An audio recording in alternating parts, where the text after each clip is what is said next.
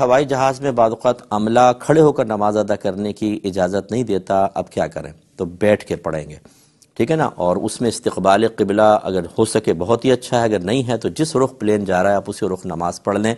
नमाज़ कज़ा नहीं करेंगे। इसके बाद वो कहते हैं कि जब हम इस तरह बैठ के पढ़ लें तो क्या उतर कर उस नमाज़ को लौटाना लाजिम है? देखें इसमें भी आरा मुख्तलिफ़ हैं। हमारी राय उन्हीं फ़ुकहा के साथ है जो ये आसानी देते हैं कि चाहे आप ट्रेन में नमाज़ पढ़ें, चाहे हवाई जहाज़ में नमाज़ पढ़ें, अगर आपने उज़र की वजह से बैठ के नमाज़ पढ़ी तो उसका दोहराना लाजिम नहीं है। जैसे जंग की हालत के अंदर अगर कोई घोड़े के ऊपर नमाज़ पढ़ लेता है तो बिल्कुल उसको कोई लौटाने की हाजत नहीं होती है। इसी तरीके से ये आज़ार भी अगरचे बंदों की तरफ़ से हैं।